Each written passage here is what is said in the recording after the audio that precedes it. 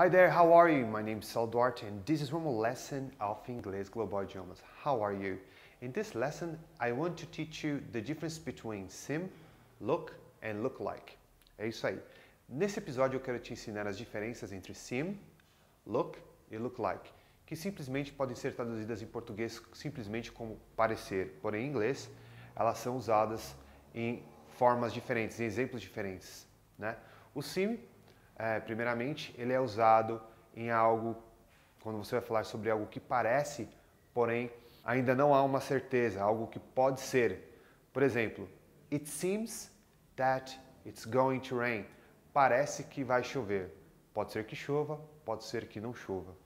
Um outro exemplo é she seems to be angry. Parece que ela está nervosa. Pode ser que ela esteja, pode ser que ela não esteja, mas quando eu olho para o rosto dela, eu tenho uma ideia de que ela esteja nervosa. Porém, se eu dissesse she looks angry, ela parece nervosa, com certeza é, eu estou afirmando que ela está nervosa. O look serve para afirmar que aquilo realmente parece. É algo muito mais físico comparado com sim. Sim é muito mais abstrato. E o look ele é muito mais físico. Se eu unir o look com like, significando como, você vai ter aí a frase looks like. Por exemplo, quando você quiser fazer uma comparação de alguém com uma outra pessoa, você vai fazer com looks like.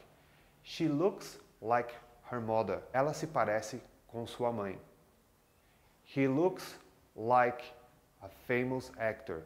Ele se parece com um ator famoso. Então, se você quiser falar sobre parecer de algo que há uma probabilidade de parecer, você vai usar sim, que também é usado para algo abstrato. Se você quiser falar sobre algo que parece, que é afirmativo e mais físico, você vai usar look. E quando você quiser fazer uma comparação de algo que parece como se parece, você vai usar o look like. Espero que eu tenha esclarecido essa dúvida. Se você ficou com qualquer dúvida, não deixe de deixar sua dúvida aqui para mim. Se você curtiu esse episódio, não deixe de deixar seu curtir para mim. E se você acha que essa informação é importante para mais alguém, não deixe de compartilhar. É isso aí. Thank you very much and I see you in the next episode. Bye bye. See ya.